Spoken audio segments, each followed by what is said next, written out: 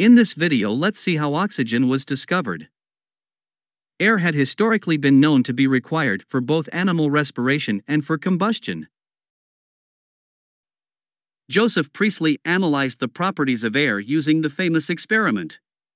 He used an inverted container on a raised platform. He showed that the flame went out when placed in the inverted container. And also, the mouse would die due to lack of air.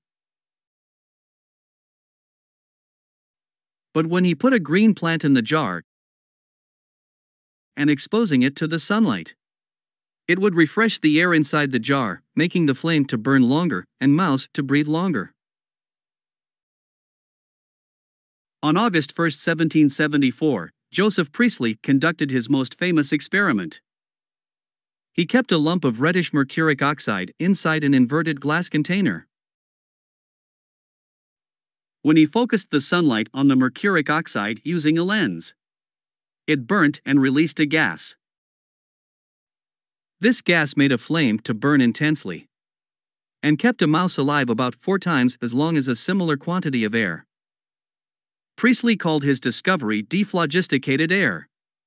Priestley further wrote, The feeling of it in my lungs was not sensibly different from that of common air, but I fancied that my breast felt peculiarly light and easy for some time afterwards. Who can tell but that in time, this pure air may become a fashionable article in luxury? Hitherto, only two mice and myself have had the privilege of breathing it.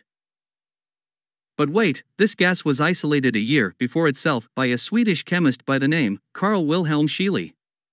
Since he did not publish until 1777, the discovery of oxygen was credited to Joseph Priestley. Actually, the term oxygen was named by French chemist Antoine Lavoisier, meaning acid maker. This is the very short history of discovery of oxygen. Hope the video was helpful. See you soon in the next video.